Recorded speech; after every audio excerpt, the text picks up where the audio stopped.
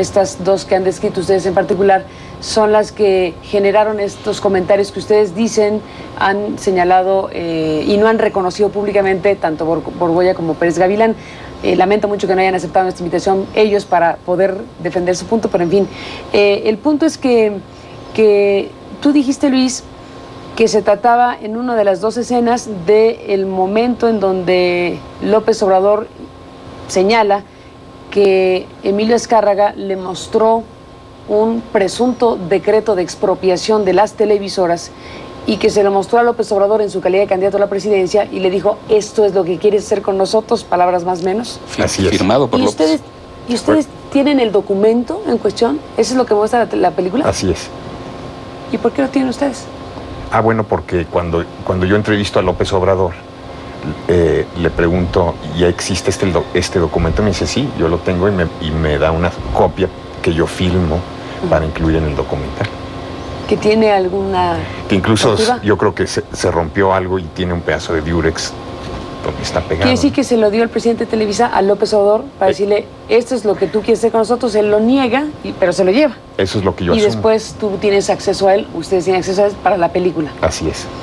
La otra parte, bueno, pues es algo que también está puesto, como se sabe ya en la opinión pública, con el libro de, de, López Obrador.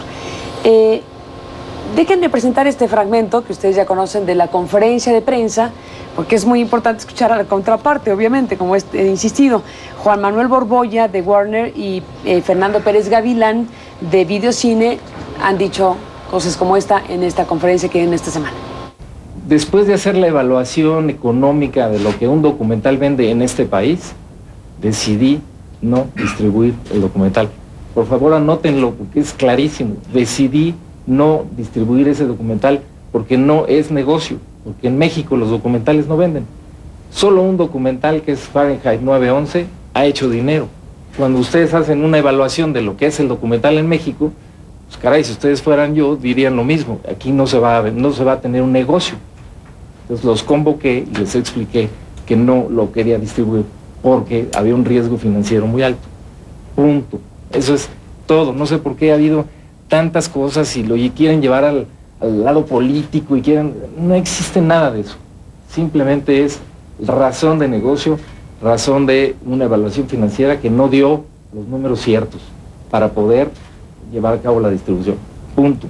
Esa es la postura oficial de Warner Brothers es, y yo se la comuniqué el miércoles pasado a Luis, le dije, Luis, desgraciadamente los números no dan y pues no lo vamos a distribuir. ¿Qué me dijo? Me dijo, pues no hay nada más que hablar. No, no hay nada más que hablar. Si hay más que hablar de las otras películas que tenemos. Estamos evaluando La hija del colibrí, que él va a dirigir, y que probablemente invirtamos dinero ahí. Estamos también en la misma evaluación, porque si le digo que no de La hija del colibrí, también los va a llamar. Documentales de películas. Bueno, eh, aquí en la conferencia de prensa de, de, Borbolla y Pérez Gavilán, en pocas palabras se está diciendo que el tema eh, no es de censura, el tema es que la película no es negocio no sería negocio y que sus criterios son estrictamente comerciales, que ellos no se meten con el contenido y que el tema es que el documental película no sería negocio. Mira, mienten el señor de Warner y el señor de Televisa. Eh, el director de Warner nos entregó, y lo tenemos, lo estamos guardando porque vamos a probablemente demandarlos este, por daños. Ahorita nos contas eso. Sí, nos entregó estadísticas de taquilla de documentales, incluidos el de Al Gore y el de Michael Moore, el del Fahrenheit y el de la verdad incómoda. Y sobre esa base, él estimó una taquilla de por lo menos 20 millones de pesos, que es lo que hacen en taquilla en México el 80-90% de todas las películas que se exhiben en México. Gringas, lo que sea, hay unas que se hacen mucho más taquilla, pero las películas exitosas, cuando llegan a 20 millones, se considera que. cuando una película llega a 20 millones de taquilla, se considera exitosa. Es lo que él calculó este, que, que iba a ser esto de taquilla. Y sobre esa base, él nos ofreció un adelanto de 2 millones de pesos. Nosotros le pedíamos 3 millones. Porque ¿Un ofrecimiento o una realidad? lo, ofreció y estábamos por recibirlo cuando esto ocurrió. Hizo publicidad. lo que él nos dijo es que como es una empresa americana, pues se llevan dos, tres semanas en hacer toda la cuestión de contratos, eh, pero que mientras tanto adelantáramos la, la mercadotecnia, la publicidad, los- nos empezó a mostrar pósters, propuestas de títulos, etcétera. Propuestas de títulos, o sea, estaba Pósters, ¿Había ya pósters eh, publicados, eh, impresos? Sí, sí, los Warner, tenemos. Warner ¿Los hizo- tienen? sí, en, la- en nuestra conferencia de prensa los mostramos. Este, realizaron tres pósters, dos muy feos, uno más o menos. Y nosotros estábamos realizando nuestros propios pósters pues, para discutirlo con ellos y hacer grupos de enfoque, en fin.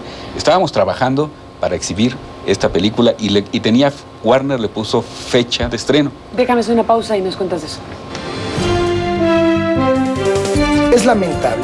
Hay veces que no solamente este documental, sino muchas otras películas, tenemos que tomar la decisión de no distribuirla porque no conviene a los intereses económicos de la empresa. Cualquier otra especulación, cualquier otra razón, permítanme refrasear, cualquier otra razón por la cual no se distribuye este documental es mera especulación y lo quiero remarcar, es falso. Es falso. Yo tengo mi opinión personal de qué es lo que está aconteciendo y se los voy a decir. En el momento en el que el documental no es distribuido por nuestras empresas, de repente se trata de sacar un botín político por la intervención de Televisa en esta distribuidora. Houston.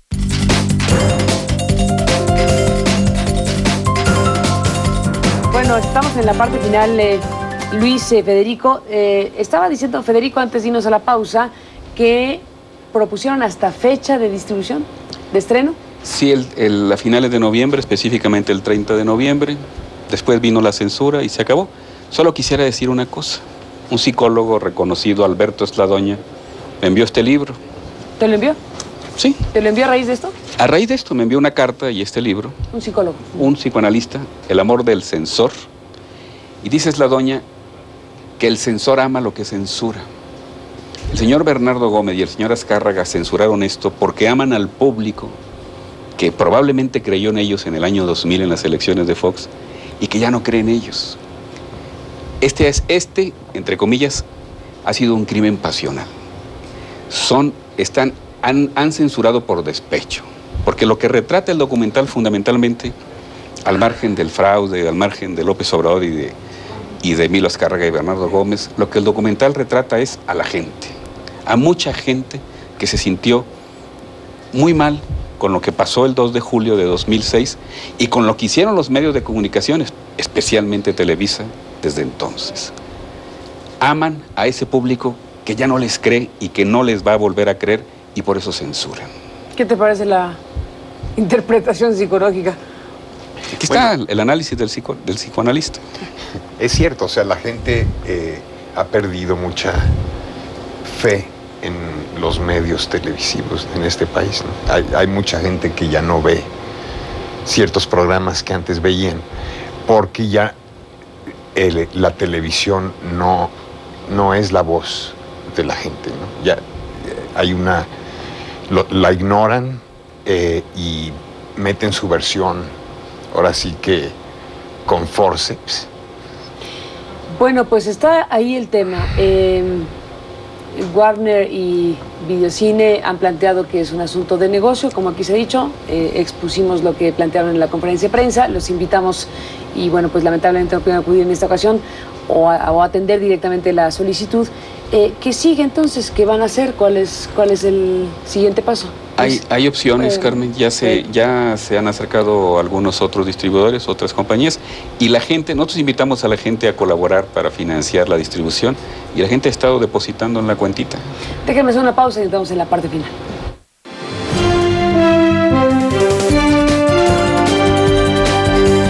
Aristegui fue presentado por Continental Airlines.